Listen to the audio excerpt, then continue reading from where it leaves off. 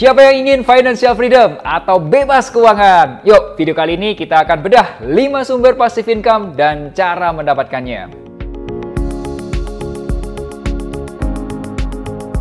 Hai guys, apa kabarnya? Semoga kamu makin melek finansial setelah sekian lama subscribe YouTube channel finansialku.com.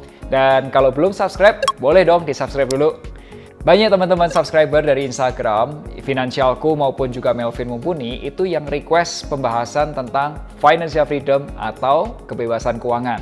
Nah, yuk kita samain dulu persepsinya mengenai financial freedom. Financial freedom itu adalah kondisi di mana kita itu tidak harus bekerja dan punya penghasilan untuk membiayai pengeluaran kita. Simpelnya nih guys, kita punya mesin pencetak uang, tentunya yang legal. Nah, kamu bisa cek kondisi pasif income kamu itu dari financial check up. Nah, teman-teman coba perhatikan report ini. Nih bagian ini ya. Nah, kamu itu bisa melakukan financial check up di aplikasi Finansialku. Caranya gampang banget. Pakai aja di menu perencana keuangan dan fitur financial check up. Lah, Vin, kalau kita nggak kerja, dari mana datangnya pemasukan? Jadi ada dua nih sumber pemasukannya, yaitu uang kamu yang bekerja atau aset kamu yang bekerja. Kalau uang yang bekerja disebutnya penghasilan investasi. Kalau aset yang bekerja kita sebutnya penghasilan pasif. Yuk kita bahas satu persatu. Mulai dari penghasilan investasi. Jadi penghasilan investasi atau investment income itu gampangnya uang kita bekerja dan menghasilkan pemasukan rutin. Rutin itu gimana sih? Bisa pemasukan bulanan, bisa per tiga bulan, bisa tahunan. Nah, teman-teman, di video sebelumnya itu aku udah sharing nih, tiga jenis produk investasi. Masih inget kan? Ini loh yang ngomongin likuiditas, ada capital gain, dan juga cash flow. Nih. Nah, kalau kita ingin investasi untuk financial freedom, itu fokus aja sama investasi yang menghasilkan cash flow. Contohnya apa nih? Satu, yang menghasilkan interest income atau dari bunga investasi. Misal nih ya, kamu invest di surat utang negara Indonesia ada ORI, ada SPR, sukuk retail, sukuk tabungan, dan lain sebagainya. Terus kemudian ada juga surat utang perusahaan atau disebutnya obligasi korporasi. Ada juga yang namanya reksadana terproteksi. Ada juga yang namanya efek berakun aset. Dan ada juga yang namanya peer-to-peer -peer lending. Dan yang kedua, selain interest income, itu ada juga yang namanya dividend income. Ya, tahu kan ya?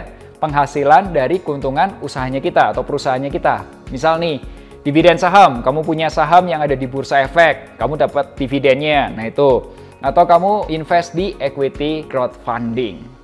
Nah, teman-teman, dari tujuh produk di sini, mana nih yang sudah kamu punya? Boleh dong di-share di kolom komentar, ceritain kenapa kamu beli produk tersebut, ya. Penghasilan pasif atau passive income itu artinya aset kita yang bekerja dan menghasilkan pemasukan. Penghasilan pasif ini ada tiga. Yang pertama, rental income. Penghasilan yang didapat karena menyewakan aset. Contoh, kamu punya properti disewain. Rumah dikontrakin, rumah kos, dan lain sebagainya. Kedua, kamu punya mobil disewain untuk nikahan, atau mungkin ada juga mobil angkutan barang, dan lain sebagainya.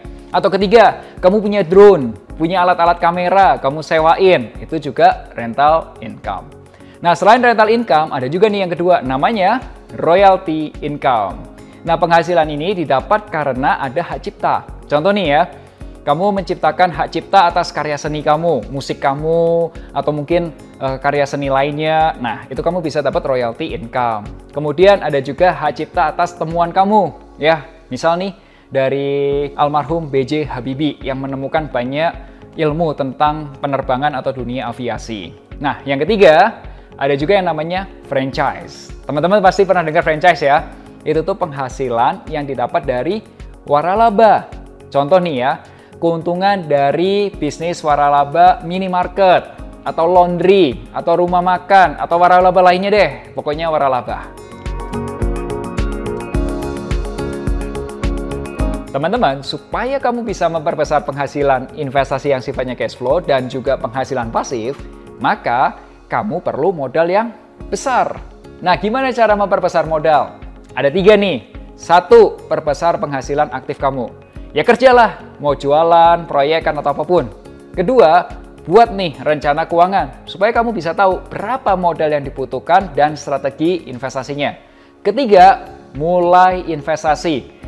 Fokus aja dulu gedein modal atau capital gain. Nah, kalau sudah gede, baru gedein di passive income-nya atau di investasi yang sifatnya cash flow.